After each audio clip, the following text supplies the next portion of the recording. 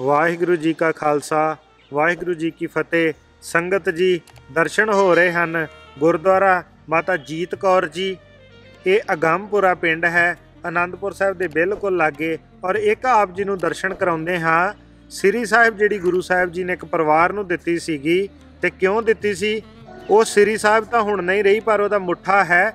ਉਸ ਦੇ ਵੀ ਆਪਾਂ ਇਸ ਤੋਂ ਬਾਅਦ ਚ ਦਰਸ਼ਨ ਕਰਨ ਜਾਂਦੇ ਹਾਂ। ਇਸ ਸਥਾਨ ਤੇ ਮਾਤਾ ਜੀਤ ਕੌਰ ਜੀ ਦਾ ਸੰਸਕਾਰ ਹੋਇਆ ਸੀ। ਉਹ ਗੁਰੂ ਗੋਬਿੰਦ ਸਿੰਘ ਜੀ ਦੇ ਪਹਿਲੇ ਮਹਿਲ ਹਨ। ਆਪ ਜੀ ਦੇ ਮਾਤਾ ਪਿਤਾ ਲਾਹੌਰ ਦੇ ਨਿਵਾਸੀ ਹਨ।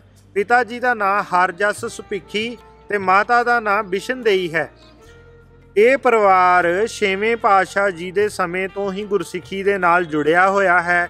ਗਾਏ ਬਗਾਏ ਗੁਰੂ ਸਾਹਿਬ ਜੀ ਦੇ ਦਰਸ਼ਨ ਕਰਨ ਆਉਂਦੇ ਰਹਿੰਦੇ ਹਨ। ਗੁਰਬਾਣੀ ਤੇ ਸਿੱਖ ਇਤਿਹਾਸ ਨਾਲ ਜੁੜੇ ਹਨ।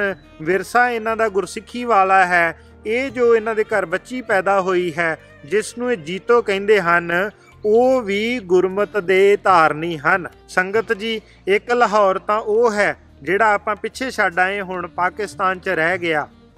ਔਰ ਇੱਕ ਲਾਹੌਰ ਹੈ, ਜਿਸ ਨੂੰ ਸਤਕਾਰ ਨਾਲ ਪੰਥ ਗੁਰੂ ਕਾ ਲਾਹੌਰ ਕਹਿੰਦਾ ਹੈ। ਉੱਥੇ ਦੀ ਵੀਡੀਓ ਆਪ ਜੀ ਦੇ ਨਾਲ ਸਾਂਝੀ ਹੋ ਚੁੱਕੀ ਹੈ।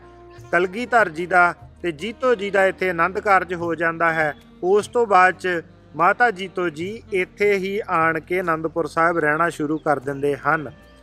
ਆਪ ਜੀ ਬਹੁਤ ਸਾਰਾ ਸਮਾਂ ਸਿਮਰਨ ਸਾਧਨਾ ਵਿੱਚ ਬਤੀਤ ਕਰਦੇ ਹੁੰਦੇ ਸਨ।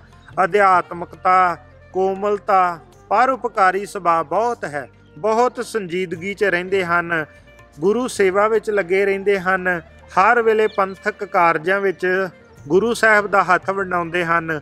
ਬਾਗ ਬਗੀਚਿਆਂ ਦਾ ਬਹੁਤ ਸ਼ੌਂਕ ਹੈ। ਸ਼ਹੀਦੀ ਬਾਗ ਜਿੱਥੇ ਹੈ, ਉੱਥੇ ਮਾਲੀ ਕੇਸਰ ਸਿੰਘ ਹੂਣਾ ਕੋਲੋਂ ਬਾਗ ਦੀ ਦੇਖਭਾਲ ਕਰਾਉਂਦੇ ਸਨ। ਆਪ ਜੀ ਦੇ ਘਰੇ ਹੀ ਜਿਹੜੇ ਸਾਹਿਬਜ਼ਾਦੇ ਬਾਬਾ ਜੁਝਾਰ ਸਿੰਘ ਜੀ, ਬਾਬਾ ਜੋਰਾਵਰ ਸਿੰਘ ਜੀ, ਬਾਬਾ ਫਤਿਹ ਸਿੰਘ ਜੀ ਨੇ ਜਨਮ ਲਿਆ। ਸੋ ਤੁਸੀਂ ਸੋਚੋ ਕਿ ਮਾਤਾ ਕਿੰਨੀ ਧੰਨ ਹੋਏਗੀ ਜਿਹੜੀ ਸਾਹਿਬਜ਼ਾਦਿਆਂ ਨੂੰ ਜਨਮ ਦੇਣ ਵਾਲੀ ਹੈ। ਜਦੋਂ ਗੁਰੂ ਸਾਹਿਬ ਜੀ ਨੇ ਖਾਲਸਾ ਪੰਥ ਸਾਜਿਆ, ਤਾਂ ਉਦੋਂ ਮਾਤਾ ਜੀਤੋ ਜੀ ਦੀਵਾਨ ਵਿੱਚ ਬੈਠੇ ਹਨ। ਜਦੋਂ ਉਸੇ ਅੰਮ੍ਰਿਤ ਦੇ ਵਿੱਚ ਮਾਤਾ ਜੀਤ ਕੌਰ ਜੀ ਨੇ ਪਤਾਸੇ ਪਾਏ ਸੀਗੇ, ਬਹੁਤ ਵਾਰ ਮਾਤਾ ਸਾਹਿਬ ਕੌਰ ਜੀ ਦਾ ਨਾਮ ਲਿਆ ਜਾਂਦਾ ਹੈ, ਪਰ ਨਹੀਂ, ਪਤਾਸੇ ਮਾਤਾ ਜੀਤ ਕੌਰ ਜੀ ਨੇ ਪਾਏ ਸੀਗੇ ਔਰ ਉਹੋ ਹੀ ਪਤਾਸਿਆਂ ਦੀ ਮਠਾਸ ਅੱਜ ਖਾਲਸੇ ਵਿੱਚ ਹੈ। ਉਸੇ ਹੀ ਪਤਾਸਿਆਂ ਦੇ ਕਰਕੇ ਅੱਜ ਖਾਲਸਾ ਹਰ ਇੱਕ ਦਾ ਦੁੱਖ ਦਰਦ ਵੰਡਾਉਂਦਾ ਹੈ। ਦੇਸ਼ਾਂ ਵਿਦੇਸ਼ਾਂ 'ਚ ਕੁਦਰਤੀ ਆਫਤ ਜੇ ਜਾ ਕੇ ਉੱਥੇ ਜਾ ਕੇ ਲੰਗਰ ਲਾਉਂਦਾ ਹੈ। ਸੋ ਖਾਲਸੇ ਦੇ ਸਾਜਣ ਵਿੱਚ ਇਹ ਮਾਤਾ ਜੀਤ ਕੌਰ ਜੀ ਦਾ ਇੱਕ ਖਾਸ ਅਹਿਮ ਰੋਲ ਸੀਗਾ। ਸੋ ਸੰਗਤ ਜੀ, ਉਹ ਪਤਾਸੇ ਨਹੀਂ ਕੱਲੇ ਪਾਏ, ਆਪਣੇ ਪੁੱਤਰਾਂ ਦਾ ਫਿਰ ਖੂਨ ਵੀ ਪਾਇਆ ਹੈ ਸਾਡੇ ਖਾਲਸੇ ਦੀਆਂ ਨੀਹਾਂ ਵਿੱਚ।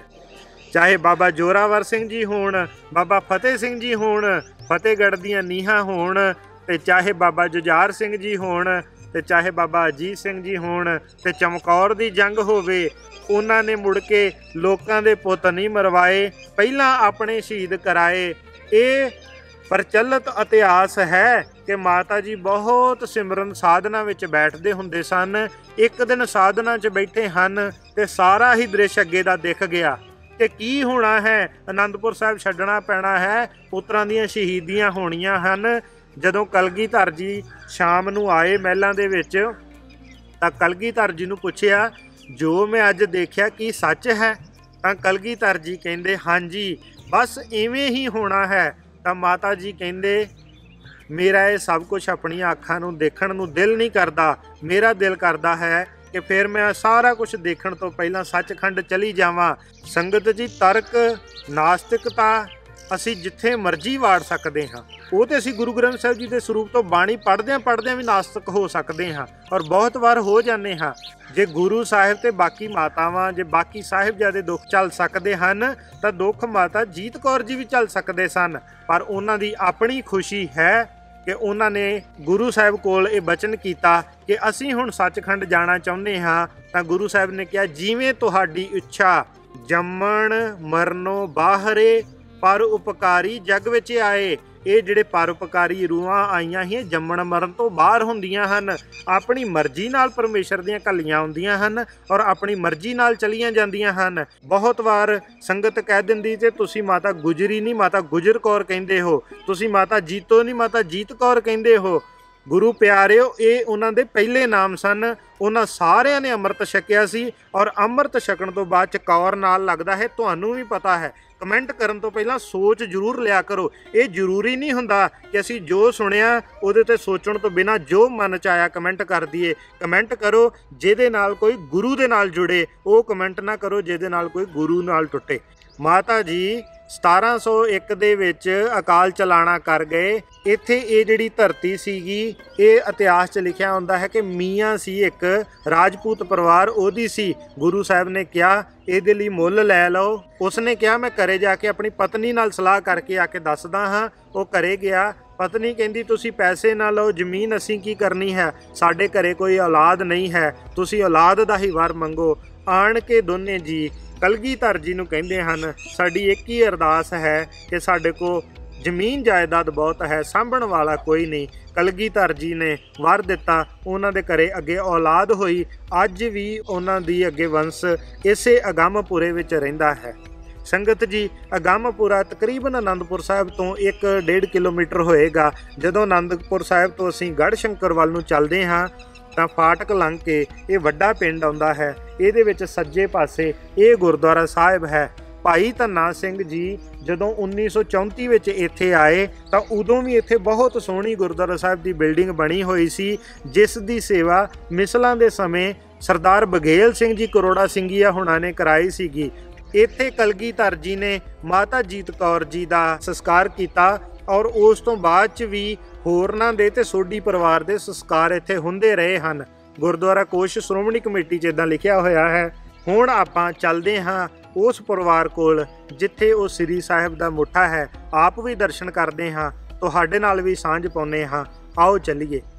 ਏਕ ਓੰਕਾਰ ਸਤਨਾਮ ਕਰਤਾ ਪੁਰਖ ਨਿਰਭਉ ਨਿਰਵੈਰ ਕਾਲ ਮੂਰਤ ਜੁਨੀ ਸਾਹਿਬ ਅੰਗੁਰ ਪ੍ਰਸਾਦ ਜਪ ਆਦ ਸੱਚ ਜੁਗਾਦ ਸੱਚ ਹੈਪੀ ਸੱਚ ਨਾਨਕ ਹੋਸੀ ਵੀ ਸੱਚ।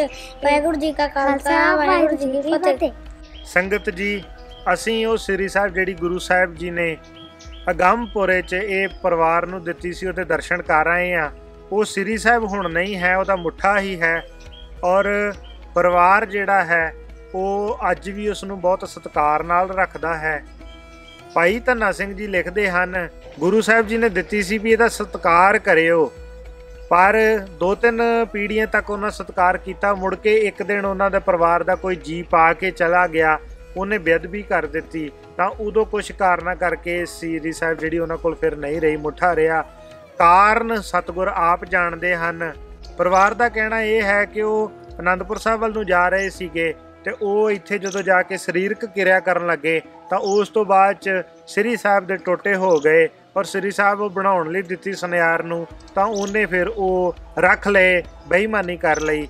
ਇਹ ਉਹਨਾਂ ਦਾ ਪੱਖ ਹੈ। ਮੁੱਕ ਦੀ ਗੱਲ ਹੈ, ਸ੍ਰੀ ਸਾਹਿਬ ਅੱਜ ਨਹੀਂ ਹੈ, ਮੁੱਠਾ ਹੈ, ਪਰਿਵਾਰ ਉਹਦਾ ਸਤਿਕਾਰ ਕਰਦਾ ਹੈ। ਦੱਸਦੇ ਹਨ ਕਿ ਅਸੀਂ ਮਹੀਨੇ 'ਚ ਇੱਕ ਦਿਨ ਦੇਗ ਬਣਾ ਕੇ ਸੰਗਰਾਂਦ ਵਾਲੇ ਦਿਨ ਅਰਦਾਸ ਬੇਨਤੀ ਕਰਦੇ ਹਾਂ, ਤੇ ਉਦਾਂ ਵੀ ਮਾਤਾ ਜੀਤ ਕੌਰ ਜੀ ਦੇ ਸਥਾਨ ਦੇ ਉੱਤੇ ਜਦੋਂ ਵੀ ਪਰਿਵਾਰ 'ਚੋਂ ਕੋਈ ਵੀ ਖੁਸ਼ੀ ਹੋਵੇ, ਗਮੀ ਹੋਵੇ, ਉੱਥੇ ਹਾਜ਼ਰੀ ਜ਼ਰੂਰ ਭਰਦੇ ਹਨ ਔਰ ਉਦਾਂ ਵੀ ਉਹ ਹਰ ਤਰ੍ਹਾਂ ਦੇ ਸੇਵਾਵਾਂ ਵਿੱਚ ਉੱਥੇ ਹਾਜ਼ਰ ਹੁੰਦੇ ਹਨ। ਪਰਿਵਾਰ 'ਚੋਂ ਅੱਜ ਵੀ ਕੋਈ ਨਾ ਕੋਈ ਜੀ ਜਿਹੜਾ ਪੁੱਤਰ ਹੈ, ਉਹ ਕੇਸਾਧਾਰੀ ਹੁੰਦਾ ਹੈ ਔਰ ਉਹ ਖੁਸ਼ ਹਨ ਸੰਗਤ ਨੂੰ, ਜਿਨ੍ਹਾਂ ਨੇ ਆ ਕੇ ਇੱਥੇ ਦਰਸ਼ਨ ਕਰਨੇ ਹਨ। ਗੁਰੂ ਸਾਹਿਬ ਕਿਰਪਾ ਕਰਨ, ਸੰਗਤ ਜੀ ਤੁਸੀਂ ਖੁੱਲੇ ਦਰਸ਼ਨ ਕਰ ਸਕਦੇ ਹੋ ਆ ਕੇ।